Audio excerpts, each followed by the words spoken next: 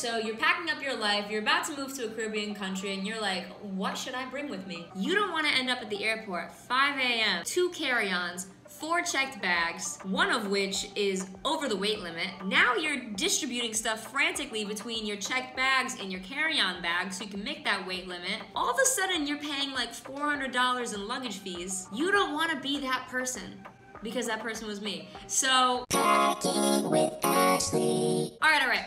Necessities. That's what we're going to talk about first. We're going to get into what is absolutely crucial. What do you absolutely need to bring with you? I just want to know I'm not going to be talking about school supplies because I have a whole video on what you need for school. This is about lifestyle. Supplements, medication, allergy stuff etc. You can get certain things here, like I've honestly had a hard time not finding things. Even with prescriptions, if you just show the pharmacy your prescription, or you ask the nurse on campus, or you ask a doctor at a clinic and you're like, hey, this is my prescription, I ran out, they will point you in the direction of what pharmacist to go to or if they can fill that for you. For the most part, I have not had a hard time with anything. Like I've heard of people being able to refill their prescriptions for like ADD and ADHD medications or contraceptives. Like it's really not that hard. I'm allergic to my donkey and I was able to try a bunch of different strong allergy medications. So like you're gonna be okay. However, you know, if you need something super specific, like you have a super specific prescription, then definitely bring that from home. You know, don't just come here blindly hoping for the best. Water filters, like for your drinking water, like if you have a Brita or like even a shower filter, those are huge because like the water here is kind of like um, minerally, I think, heavy. I, I think is the word I'm looking for. You might feel a difference in the texture of your hair. Aquabliss is a pretty good brand, but you know, go ahead and read your reviews and do your deep dive before you buy anything. You know what I'm saying? I know Brita doesn't filter out Giardia, but I'm still religiously using my Brita. And also then you're saving money on not a million jugs of water. Hygiene products, quality razors, hair products, skincare, your fave makeup, whatever. For this kind of stuff, like you may be able to find some things here, but it's going to be super pricey. Certain things that are imported here are more expensive than other things. I brought this massive bottle of hair oil here from TJ Maxx for $4.99. And I saw at like the beauty supply store here, one that was like like a third of this size and it was like definitely more than five dollars you know you're not gonna be washing your face with dawn dish soap and then moisturizing with the hotel lotion you know like love yourself a little bit and pack those essentials that you know you're gonna want to have here. For example, one time I was looking for this shampoo I use, and it's it's Cantu, like I don't know, like it's a normal shampoo brand. I ended up going to like this random grocery store, not Rams, Island Food Camps, which had the shampoo and conditioner. It had a whole line of Cantu products, which completely threw me off, and I wasn't expecting to see it there, but it was there. If you're here, you've ran out of your products, and you're like, okay, now what? Treasure hunt it's just gonna be a little bit more expensive. Next major thing that you need here i mean you're about to start veterinary school you better have a pair of scrubs that you're comfortable being in. You not only want to be comfortable because you're to be wearing them for extended periods of time but you also want to be comfortable in how you look in them. So experiment with some scrubs before you come here. Order some return them la-di-da. Scrubs. If you want some quality scrubs that are similar to Figs, I actually just saw this TikTok about this brand called Mandala, which is like super similar to Figs, same products, materials, everything. It's just a realistic cost, not sponsored, but if they want to. I'd recommend bringing like two pairs of scrubs. I feel like that's more than enough. You're not gonna have lab every single day of the week. And then if you don't plan on ever leaving island, bring one to two pairs of green scrubs because you're going to need green color scrubs for your surgery labs in sixth and seventh semester. You could also go ahead and get some coveralls because you're gonna need those when you're like out soaping in seventh semester. But lots of people just buy them from students that are leaving. I mean, that's what I did. These scrubs and coveralls and whatever, they're just gonna be covered in animal poop anyways. So like, also, don't worry about getting boots. Because of the whole pandemic situation, a lot of students left behind their boots. And now the student group here, SAVMA, was able to set up this boot rental program. Disposable gloves that are your size, because for anatomy lab, they do not give you gloves. And also, again, if you don't plan on ever leaving the island, then I'd recommend getting some sterile, non-expired gloves for your surgery labs and live animal surgeries. You know, make sure they're your size. If you work at a clinic, maybe they can like tell you what fits you. But honestly, that's like a concern for so far away. You could just buy them from the upper semester students that are gonna be selling them anyways. As you can see, there's a trend going on here. When in doubt, you could probably buy it from the upper semester students that are leaving. A quality water bottle and a quality tumbler mug type of thing. I never knew I was gonna be a Yeti girl, but the way that it keeps my coffee warm, like hot. Hoodies, sweats, leggings. Honestly, some of these indoor study spots are like too cold. And then of course to like save luggage space, I wore one hoodie on the plane and then like one pair of sweatpants on the plane. If you like to hike, pack some hiking boots. I love my Columbia hiking boots. They're awesome. And there are so many hikes available to do in this country. If you haven't already seen my insane hiking video where I hiked the back of the volcano, like that was crazy. It was exhausting, and I wish that I had real hiking boots for that hike because I was slipping all over the place. I recently went on the radio tower hike, which was awesome, and I'm glad that I had my quality hiking boots for it because it was literally like up the whole time. Bring sneakers you don't care about for anatomy lab because you don't want all that nasty formalin like on your favorite shoes and now you're walking around your house with your formalin shoes. Like Ew. And then maybe, I don't know, some like gym shoes too, some regular shoes, sneakers that you wanna wear out to the streets, slides for the beach, nice sandals to go out to dinner, nice shoes, heels. I'm gonna lean back now. I feel like I've really been aggressive and like in your face, like trust me and bring these things and only these things. I still have more things to say, but I just feel like I'm kinda like, mm.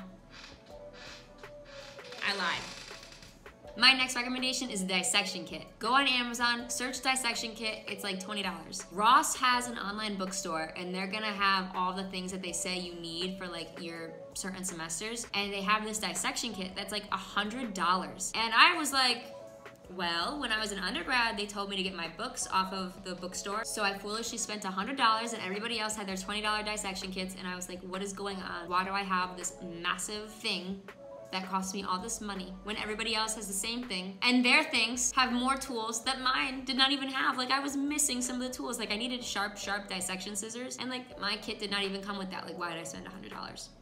Don't be me don't be me. Also, if you don't even want to buy a dissection kit, you don't want to put that in your luggage, guess what? You can just post on the school Facebook, ISO, and someone will probably sell you their dissection kit. Pack some jeans, more than one pair of jeans. You know, pack your favorite pairs of jeans. You don't want these mosquitoes all over your legs. Also, like sometimes it gets chilly, sometimes it rains. Also, the other thing beyond the topic of going out and having a good time is government buildings require you to wear pants or something that goes past your knees. And some even have signs that say no leggings, so you can't go and walk into that building in sweatpants and leggings. Now, if you're asking yourself, when am I ever going to enter a government building? Well, let's say you're gonna wanna buy a car or get a car rental or whatever. You're gonna need to get a license, you're gonna need to get car insurance, and then like, let's say you get a traffic ticket and you're like, well, what's the chances of me getting a traffic ticket?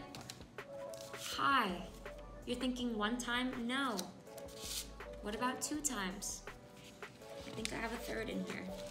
I'm gonna make a collage. I've heard of people getting traffic tickets for like the craziest things. The license plate numbers weren't dark enough, or their windows in the car that they're getting from like somebody else are too tinted. It is what it is.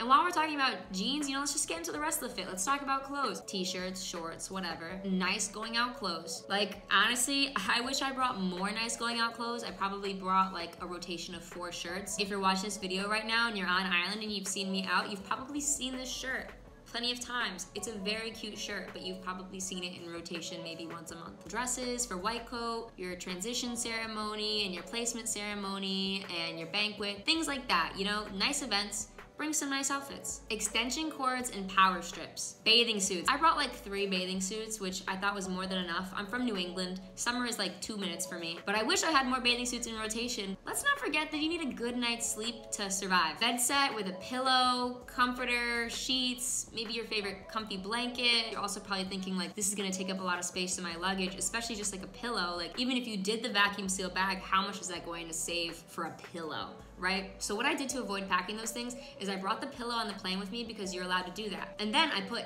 inside the pillowcase blankets and my bed sheets and then I didn't waste like any luggage space on that and I just had to carry it through the airport, which is like fine. Also don't forget, you know, your shower towel and your beach towel. Maybe bring a lock for your locker, backpack, lunchbox, raincoat if you want it, but like it rains for 10 minutes here and then stops. So I don't know, there's really no point for a raincoat. And then like when it does rain, the rain is also coming in on like a sideways angle. So what is your raincoat really doing for you? Nothing.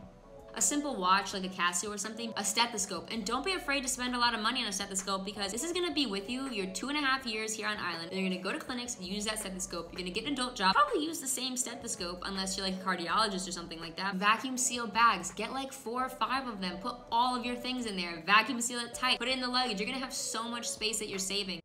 Now I'm gonna get into like the extra things, like you don't need these. First things first, I'm gonna go get it because I intentionally did not install this yet. I had two of them and I did not install this because I was saving it for this video to show you. So, you see this? Are you familiar with what this is? Door bottom seal, okay? My parents have these like all over the house. It's great. It's good for snowflake and sun and bug. Very good. It not only keeps the cold inside your house if you have your AC running, it keeps the heat out too because if you put your hand on the floor near that like crack of the door, you can feel that warm air coming in. I know you guys know I moved, but at my last apartment, I installed one of these in like the main front door and then I installed a second one at my bedroom door and I always left my bedroom door closed. I never had any of those things in my room. I move into this apartment. I haven't installed any of these bad boys yet. And guess what? I found a little friend in my drawer of all places. And when I say little, I mean like a massive cockroach. I'm literally just, ah, I don't even want to show it. Ah! And then recently, like the other day, I literally watched a little like not a centipede, but like a millipede crawl through the crevice of like my front door and just appear in my kitchen. And I was like, first of all, do you pay rent? Kick that boy out. But anyways, more of the story. I really recommend these like door adhesive like plastic ones because it's like a really tight seal. Another thing that's huge is command strips. Like command strips have been a lifesaver. This tapestry is hanging by command strips. My whole life in this apartment is being held together by command strips. I also brought down like a small battery powered fan, which is amazing because you can have it plugged into the wall or you can put some D batteries in there and have it going, blowing right on your face when the power goes out. Bring some extra charging cords for your iPhone because you know those things love to break and the ones down at port sometimes can be a little cheap. Also bring down a laptop charger because who's to say that you can get a new laptop charger here? And if you can, I promise you it's gonna be very expensive. Like, look at the current state of my laptop charger. It wants to die. It's holding on for dear life. It's going to electrocute me at some point, but I keep using it. So just bring an extra laptop charger. And when I say the charging cords at port can be cheap, I mean like my friend bought a charging cord and within two days it stopped working. However, my other friend bought a charging cord and then it was perfectly fine. So I don't know, maybe my first friend was just chewing on her charging cord.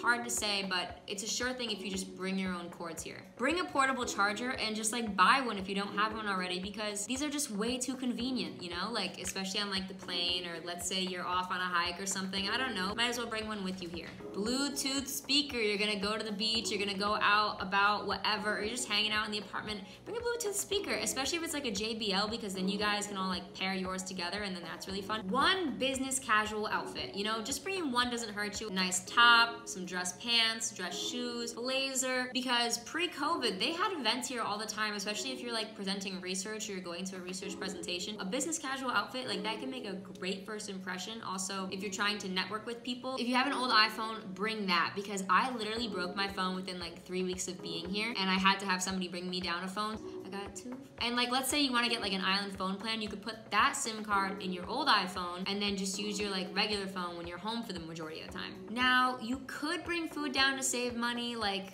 I don't think it's absolutely necessary. I think you could buy a lot of foods here and it's not that much of a price difference. It depends on what you need and what you want, but like I've literally seen like vegan things here and they're not that much more expensive than they are back home. Meats, pastas, like produce, stuff like that. Like I just think it's a waste of money bringing it here. I know plenty of people who do who like bring things in bulk and leave them in their freezer, which is fine, but I really don't think you're saving as much money. School supplies, like notebooks and things like that, like that is a waste of luggage space to me because you can easily buy those things from like TDC or upper semester students. There's just a bunch of things that you really do not need to be worrying about. Bring a mattress topper and maybe vacuum seal it. One of my friends actually, like her back was hurting so bad from her bed, so we went to TDC, which is like the equivalent of Marshall's Home Goods with a sprinkle of Home Depot and I don't know, it just has everything. I literally love walking around in TDC. It's like my form of Target here. Anyways, we went to TDC, she went and got a bed insert and it's great, it works, but the downside is, and this is what I'm saying, it was probably twice the cost of buying one at home. Yes, you're gonna get it here, but this is one of those things where you wanna save money, so maybe you should bring that in your luggage here. Fanny pack, beach bag, a going out bag, an aux cord, or like a cassette aux cord converter, if you know, you know, because a lot of island cars here have like those cassette players, and back in the day, my mom had in her car this like cassette insert, and then like it was an aux cord hooked up to it,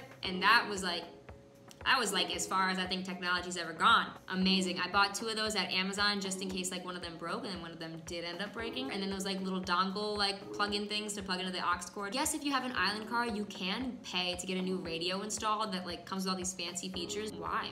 You could just bring this $10 cassette Radio Shack player and really wow the audience and save a lot of money. You can also like pay like I think it's like $30 charging port Bluetooth thing and then like connect it with your radio. So that's also another option you could do. I'm gonna sound like a dad right now and I know my dad's gonna love that I'm saying this, but bring like a little multi-tool screwdriver, head thing because, I don't know, screws get loose.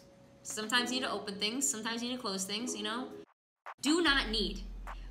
You do not need these things, okay? Do not go and pack an air fryer. That is a waste of luggage space. Don't do it. I've seen them at TDC and they're really not that much more expensive than if you were to buy them at home. Same thing with a blender. I bought a blender, I go to TDC, they're like the same exact cost as buying a blender at home. I don't know why I didn't think I would be able to buy a blender here. Like, what? People blend. That's silly. I keep saying this over and over again, but you can find a lot of things on island. Buy them. Resell them when you leave. Like, don't worry about bringing them here. Don't go and spend $400 on checked luggage like somebody I know. I'd say, like, the things that get increased in import prices is like toys and like the hygiene, skincare, hair care products. For example, when I was at TDC, I saw a Nintendo Switch and I was like, ooh, like I wonder how much this is gonna be. I think back home it's like $349 in US. And here, when I did the conversion, the cost of a Nintendo Switch was 800 US, the cost of two Switches. And that's because of all those import taxes and fees they've got to make up for. It's things like that that will end up being more expensive. Don't go and bring like pots, pans, utensils. Most of the time, all these apartments are furnished. And if something is missing in the apartment, like believe it or not, you can go and buy a skillet at the store. You can get a cutting board at the store. Go to like the big Rams Cash and Carry and they've got like the fancy kitchen knives and the big cutting boards. I know like a lot of like restaurants go there for things. So like go there. Look around. I promise you, you do not need to waste luggage space. The outlets are exactly the same, so you don't need to go and bring those like international outlet converters. Don't waste luggage space on hangers. I want to talk about shipping stuff here. There are going to be times when you need things and you don't want to go and pay those crazy import fees. I've never done this, and I know a lot of people that do, but you can ship barrels here. And barrels are like, they go for a flat rate. I don't know, you just like pay however the barrel costs and you can fill it up as much as you want as heavy as you want i think give or take. I think you can do barrels at like various ports. Like i know people do them in like florida and puerto rico and new york so i don't really know exactly how that works but i know that a lot of people do it. And then you just fill it up and you don't have to worry about all the fees. It's nice and the only thing is like just like take all the tags off things so they don't seem new so that way when they open it up they're not about to tax you for a bunch of brand new things. I don't know a lot about this but i definitely want you to be aware of it. You can fedex things here really fast. Keep in mind the um, the tax that's going to end up happening, but you can get things here like in a matter of days through FedEx. And then I was saying this earlier with the barrel, but if you're gonna pack anything in your luggage, your carry-on, ship it in a barrel, whatever, take the tags off, make it look used because if it looks brand new and it looks like you're importing something in here, it will be taxed. If they open up your luggage in the airport and they see a bunch of brand new things with tags, they're gonna tax you for it. I've literally heard of people getting taxed for brand new deodorants in the packaging. So just keep that in mind. At the end of the day, a lot of packing advice just comes down to what is important to you and how much space or weight you're gonna have in your bags, especially when you can buy so many things from uppers. You can go to TDC, you know, you have a lot of stores to choose from. I checked four bags. I paid $420. Don't be me. But you know, okay, if you do wanna be like me and you wanna bring a lot of stuff, don't worry because you can always end up being that upper semester student that sells all their stuff to the lower semester students. So like, you're not gonna be stuck with this stuff. You can always sell it. I'm currently selling my stuff right now. All right, guys, that's it. I'm done. I told you what's important. I told you what matters. You know, if you're disagreeing with everything I'm saying, take it with a grain of salt. If there's people watching this video who are already on island, feel free to leave a comment and say, hey, I recommend this, or hey, Ashley is right. You know, I don't know. I hope this was helpful to you guys. You know, it's definitely information that I wish I had. I'll see you guys soon.